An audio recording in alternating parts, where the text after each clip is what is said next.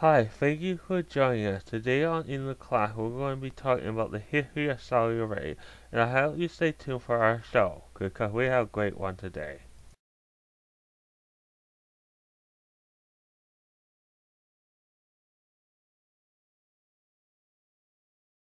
Okay, rather focus on the tight history of Saudi Arabia and going depth in it, we're just going to focus on the modern kingdom of Saudi Arabia basically goes like this, okay? Basically, before World War One, this guy, okay, basically sees to Rio with the capital Saudi now with a small arm of bandits, okay, and he basically attacked basically the town wrapped around a wall. And basically what he did was this, he tried to unite okay, different tribal and ethnic groups in Saudi or in the Arabian Peninsula and then eventually formed the Kingdom of Saudi Arabia. At first, the Kingdom of Saudi Arabia was a very poor country, one of the poorest countries in the world. The king basically did anything himself. He didn't have any bureaucrats. And it was told, basically told they found oil, and that the kingdom got more wealthier, and because they were able to find oil, and because they made money off of oil, they were able to invest in some money basically in with schools, education, healthcare, alcohol, and you name it.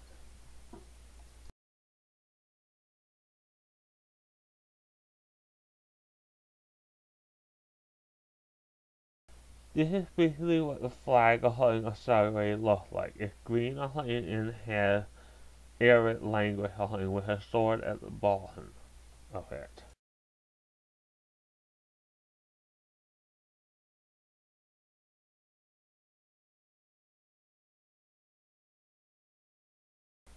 This is basically the king of Saudi Arabia right now. What are the problems with Saudi Arabia? Well, one of the problems is this.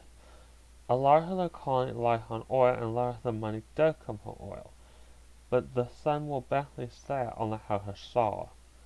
Eventually, if the oil runs out. Another problem is some people think Saudi Arabia spends money on the bunch of terrorism. That's basically okay. Okay, another thing to say about Saudi right now is the um their friends are basically the U the US and with a very unlikely friend saying that the US is a democracy and a secular country, where Saudi Arabia is Islamic and a direct monarch.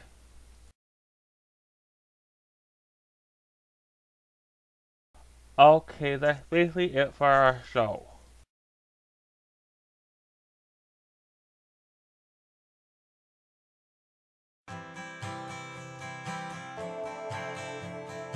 Amen.